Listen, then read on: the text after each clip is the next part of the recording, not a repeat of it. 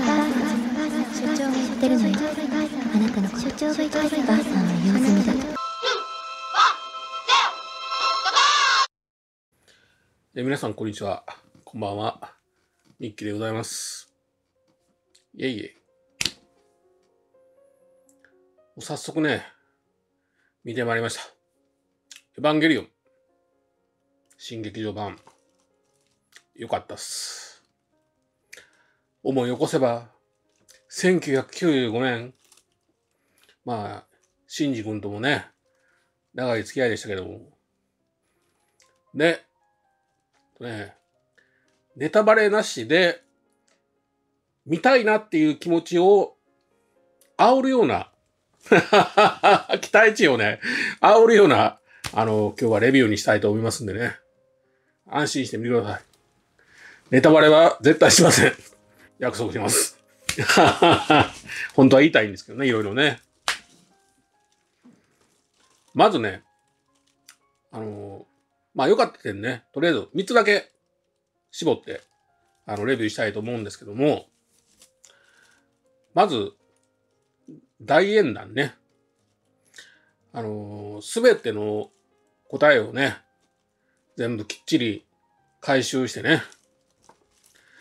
で、こう、安野さんって、あれじゃない？結構、あの、エヴァンゲリオンのなんか、あの、そういうファンサイトとか、レビュー、全部チェックしてるんじゃない？ってね、思うぐらい、あ、こんなことも、あんなこともちゃんと回収してるわ、ってってね。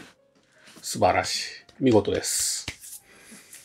あのまあね、私もそんな、確かにね、最初からはね、見てるんですけども、そんなマニアっていうほどマニアでもないんでね、あのちょっとその辺は自信ないんですけど、ほぼ、ほぼ、あの、回答できてると思います。まあ、回答のね、仕方の深い野菜はあるんですけども、大概のことはもう解決してると思います。あと、ところどころね、えっ、とね、過去のキャラクターとかね、エピソードをさりげなくね、ファンサービスがすごいね、行き届いてて、お、おってこうね、思わず、やるなっていうね、部分がね、たくさんありましたね。はい。まあ、非常に良かったです。で、まあ、あのー一回ね、テレビシリーズが終わったタイミングで、えー劇場版があって、で、一旦終わって、まあ、リブートしてね、まあ、今回の流れになるんですけども、旧劇場版でさえ、こう、ポジティブにね、取り入れて、あのーちゃんと、なんていうかね、解釈を入れてるっていうのはね、本当ね、素晴らしいです。私は、で、二つ目に良かったのがね、非常にね、エロい。エロティシズム。はい。これはね、あのーまあ、女性キャラのね、裸のシーンがいっぱいあるっていうのもね、あの、あれなんですけども、やはりね、こう、生きる原動力、エロスっていうのね、非常に大事で、あの異次元世界とかね、あのーこう、現、現実にないね、えーっとね、そのオブジェクトとか、そういうデザインがね、かなりね、あの、官能的に描かれててね、これはね、非常に良かったですね。もう最後まで釘付けです。おーってやりながらね、見てました。はい。で、三つ目ね、良かった部分はね、まあ、良かった面とね、悪い面にもなるんですけどね、CG がね、非常にあの、クオリティアップしてまして、まあ、Q に比べたらもう全然、ね、Q はちょっとね、なんか、いかにもって感じでしたんですけど、かなりね、あの、技術的にアップして、あの、違和感なく、あの、アニメとして、非常にね、いい感じでした。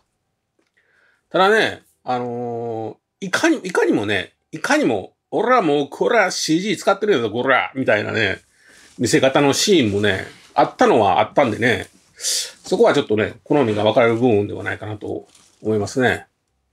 でもまあ、おおむねね、もう全然、あの、Q に比べると、技術的な面でもね、良くなってるんで、もう全然ね、Q が、Q 見てちょっと心配やなって思う人はね、安心して見に行ってください。今度ね、まあどうせあれでしょう。4K 版出るんでしょ、4K 版。ほんならね、もう Q のあのね、CGC も全部ね、バージョンアップして、3. 点、前333やったんですけど、もう3.999ぐらいにしてね、はい。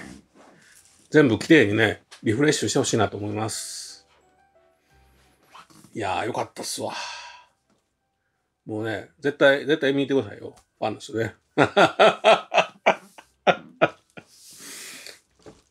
で、今からね、あのー、今までエヴァンゲリオン全然見てないけど、どうしようかなって思う人はね、まあ、できたらね、できたらもう順を追って全部見てもらうのが一番いいんでしょうけど、まあそれもね、今からしんどいよねっていう人はね、とりあえずね、とりあえず、一個前のね、9、9は絶対見てもらわんと多分しんどいと思いますわ。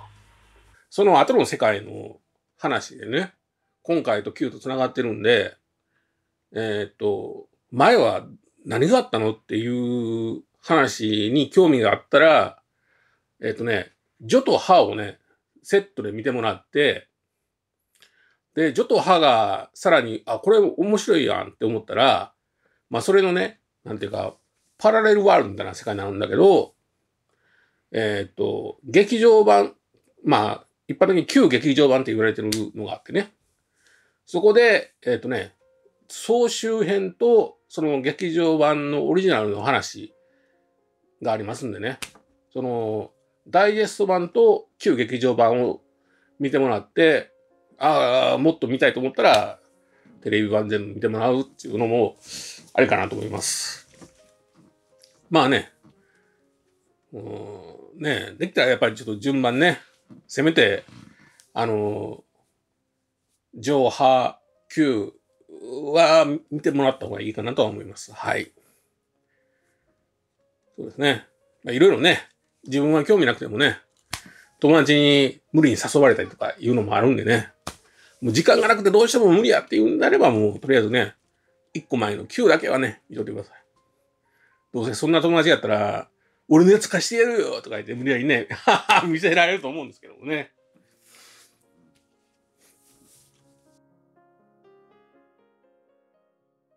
で、アニアニメ好きに人にね、実写の作品進めるのも、とは思うんですけどもね。でも、どうしてどうして、庵野監督ってね、シン・ゴジラとか、今度、シン・ウルトラマンとかね、あの、ラブポップとか、キューティーハニーとかね、実写も撮っておられるんでね。あのー、まあ、おすすめはしないけど、あのー、エヴァンゲリオンのね、今回見た後、私が、ああ、この映画見たいわって思った映画をね、3本レビューしておきます。あの、エヴァンゲリオンを見た後で、ああ、この映画が見たいなって思った映画ですよ。はい。無理強いはしませんからね。無理強いは。まずね、一本目がね、砂の器。どんな話かというとね、ある殺人事件が起きてね。で、それを捜査したら、被害者は、すっごい、あの、田舎のね、あの、人のいいおまわりさん、ジューサさんね。なんでこんな人のいい人が殺されるのかなっていう。で、その、捜査してるとね、ある人物がね、浮かび上がってくるその人物のね、過去がもう壮絶なんですよね。たまらんすよ。これはね、染みますね。はい。特にね、今回あの、エヴァンゲリオンのね、初版の頃のエピソードを見てね、あの、ああ、砂の器が見たいなって思いましたね。はい。で、中盤ぐらいでね、ああ、これが見たいと思った映画がね、2001年宇宙の旅。これはもう大定番のね、あの SF 映画なんですけども、ある日あの月面にね、得体の知れないなんか物体が見つかって、なんやこれは。で、宇宙旅行がね、できる時代やって、で、コンピューターでね、その、人間が旅行中は寝てるんですよね。コールドスリープでね。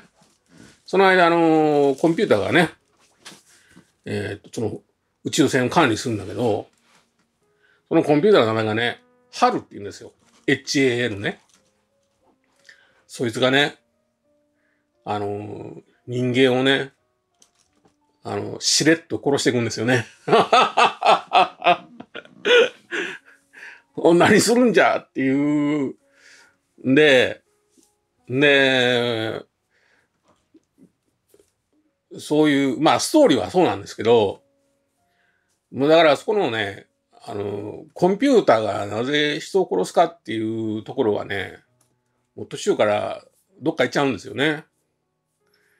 で、あのー、後半からね、すごい、なんか関連的な話になってね。で、どうでもいいんじゃねっていうね、展開になるんですけど、これはね、あのー、なんていうかね、お客さんにね、この解釈をね、ま、丸投げして、えー、っていう。まあ、これはね、あれなんですよ。あの、すごい、いろんなね、作品に影響を与えて、で、未だにね、その定番作品として、何年前の映画や。もう、ね、2001年と言いながら、もう何十年前の映画なんですけどね。で、今見てもね、全然、あの、古くならないっていうのはね、この、やっぱりね、丸投げ効果っていうかね。もう、あの、中途半端なね、匂わせじゃなくてね、ガッと振り切った丸投げ。これはね、すごいです。後半、ビビると思います。はい。そのね、後半ビビったシーンをね、ちょっと思い出しました。10番。で、最後はね、あのー、後半の展開の時に、この映画見たいなと思ったんがね、えっ、ー、とね、All About My Mother っていう映画ね。息子がね、あのー、交通事故で亡くしたお母さんの話なんですけど、まあ自分がね、えっ、と、息子を亡くした、この痛みをね、癒すための、えっ、と、旅に出る話なんですけどね。もうね、すごいです。ということでね、まああんまり喋ってるとね、ネタバレしちゃいそうなんで、あのー、この辺で終わりたいと思います。では、最後まで聞いていただきましてありがとうございました。よろしかったらね、評価と登録の方ね、お願いいたします。